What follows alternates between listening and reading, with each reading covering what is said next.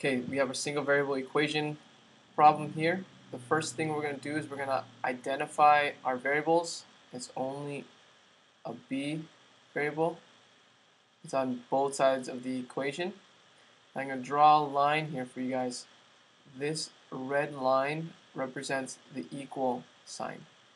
It has two sides to it. Now an equal sign is just that. It means both things, both expressions are equal on both sides.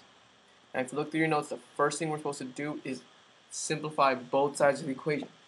Simplifying simply means PEMDAS. Parentheses, exponents multiply, divide, add, and subtract. Now, if we look on both sides of this equation, there's nothing I can do inside this parentheses, nothing I can do inside the parentheses. Check.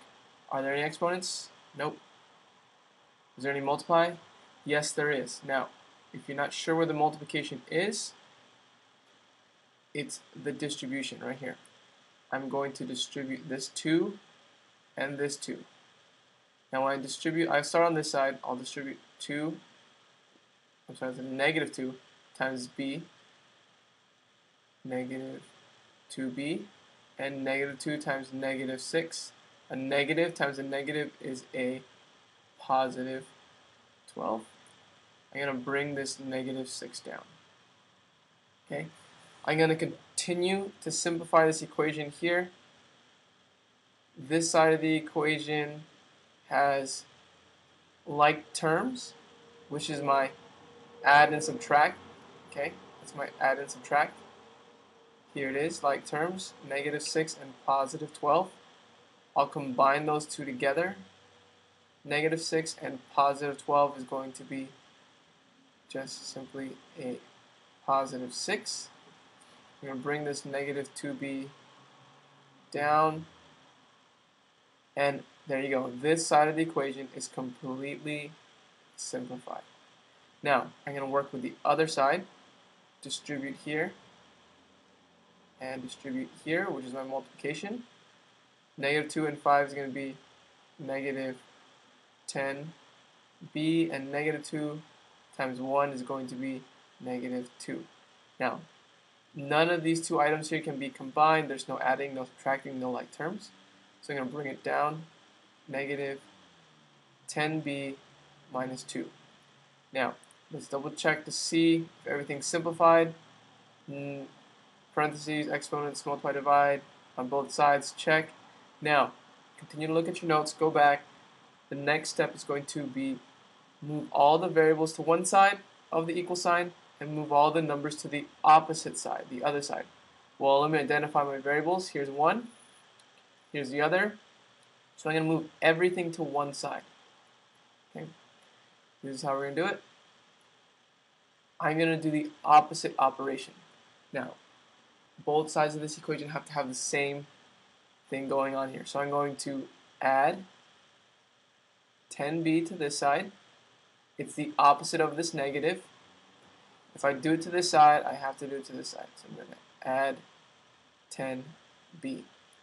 Now, 10b and negative 10b, they are going to cancel out, cancel, and cancel. The only thing that's left over is going to be this negative 2 over here. So I'm going to bring this negative 2 down. Again, my red line represents my equal sign. That's why I did everything on the left side and the right side. I'm going to continue to add and combine positive 10b and negative 2b make positive 8b. And I'm going to bring down this 6, positive 8b plus 6.